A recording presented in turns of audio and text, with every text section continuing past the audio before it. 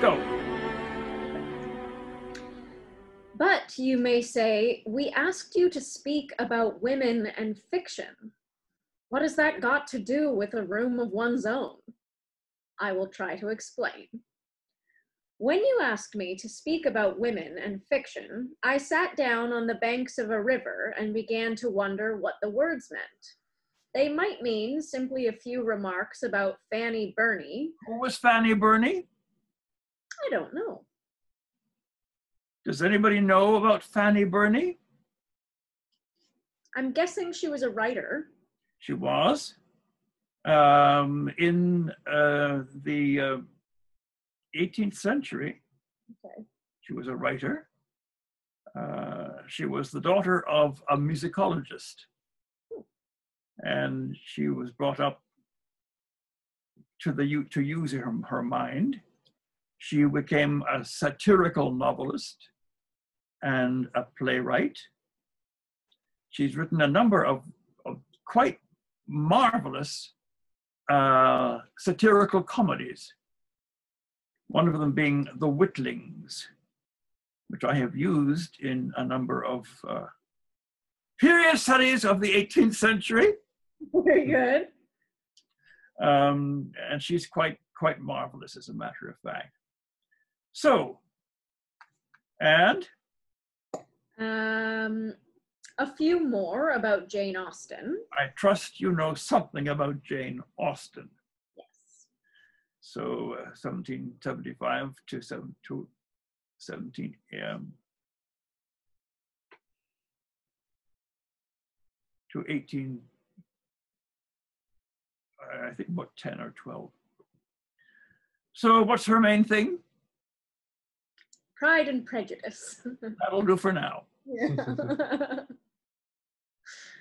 uh, a tribute to the Brontes. Oh yes, tell me about the Brontes. Uh, Charlotte. Charlotte Bronte, 1816 to 1855. And what is her major contribution? Um, Charlotte's Jane Eyre. Jane Eyre. Yeah. The Brontes, and who else? Uh, Anne. There was Anne, yes, 1820 to 1849. And What did she write? A lot of her stuff has been uh, serialized on on British television. is is it Anne who wrote Wuthering Heights? I don't. No, know. no, that No. was Emily. Oh, all right. Emily, 1818 to 1848.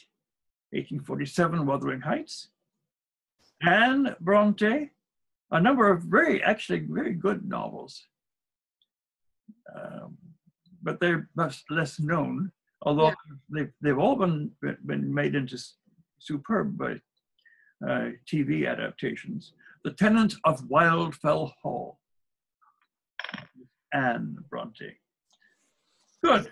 Kind of the least celebrated of the three. Yes, she is, unfortunately, because I think she's as good. All right. Um, Brontes and, And a sketch of Haworth Parsonage under snow. yeah, Haworth, Haworth is where they lived. And, and their father was that, that grim-minded old parson. All right, on we go. Some witticisms, if possible, about Miss Mitford. Well, what do we know about Miss Mitford? Who I don't know. are the Mitfords? A, a- a quite prolific group. Na- it's Nancy Mitford, isn't it? Nancy Mitford. Nancy Mitford.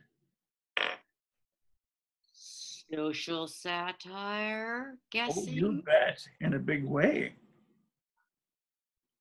Nancy Mitford. 1904 to 1973. 1945, The Pursuit of Love. Oh, 1949, Love in a Cold Climate. And those together have been made into a superb TV movie. Oh. Nancy Mitford. The Mitfords.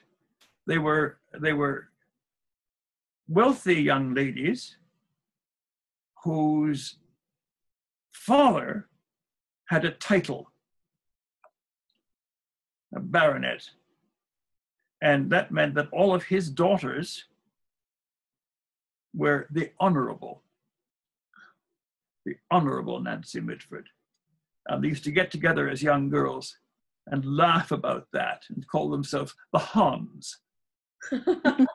We are the Hons. That's good. Yeah.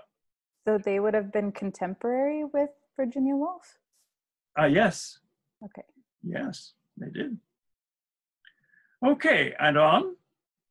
A respectful allusion to George Eliot. Now you ought to know that.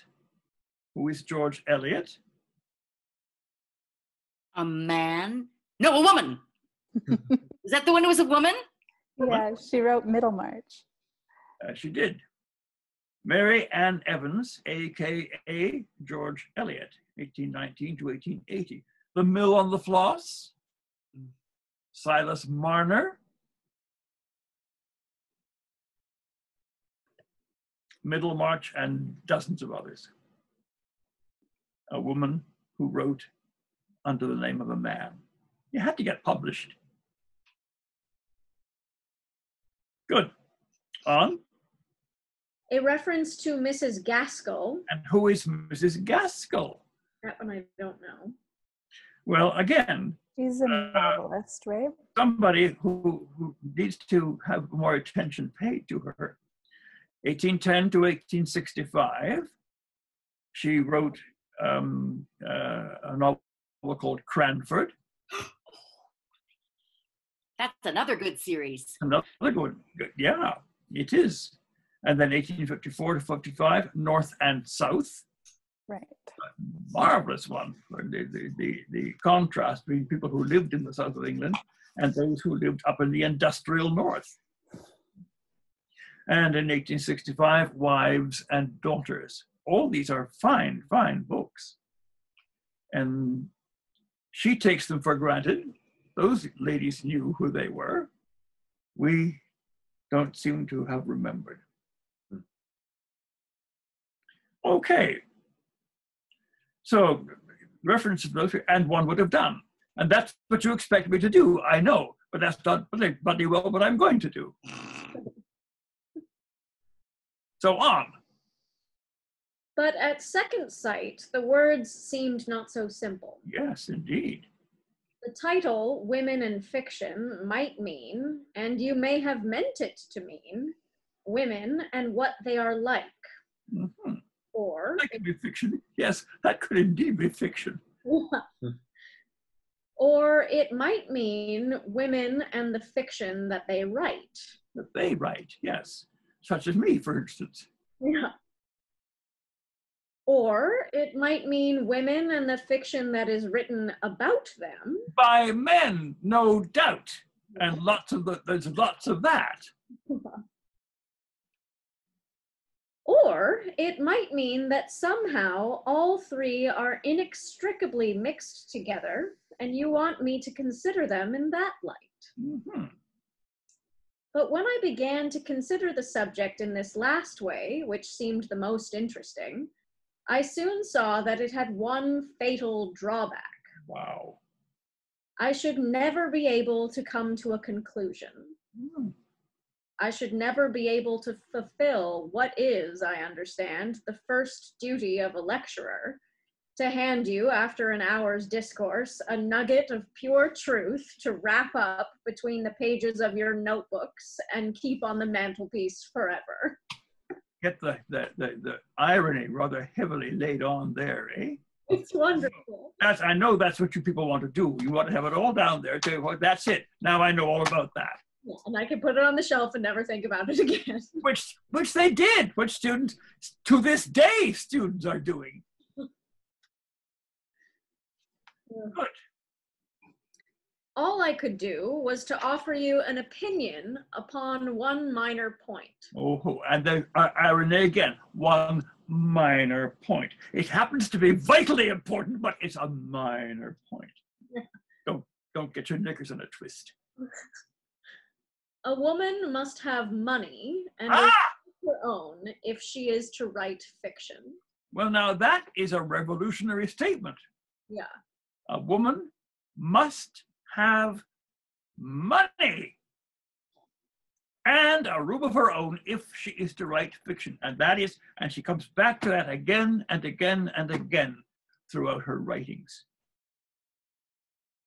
So, of course, the next thing is where the hell is a woman going to get money? Women don't work. Women are not meant to work. They're not engineered for it.